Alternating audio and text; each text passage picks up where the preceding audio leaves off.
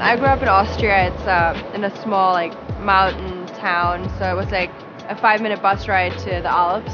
So after school, I would just like grab my snowboard with my friends. We would just like go up the Alps and ski down to our houses.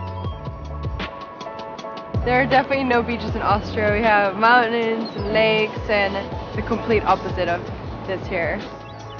My name is Bo Young. It'd be a lie for me not to say I think you're coming to Byron Bay, you have to catch a wave for the first time if you haven't. And I think what it goes here is really special.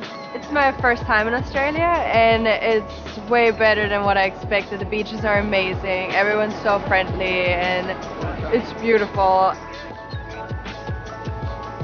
And then one big push up and bring your front leg between your hands.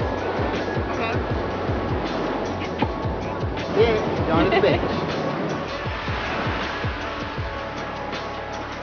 I was really nervous at the beginning, but it was quite easy to get up, I guess because I was snowboarding for such a long time. I caught two waves and I stood up both times, so I'm like really proud of myself.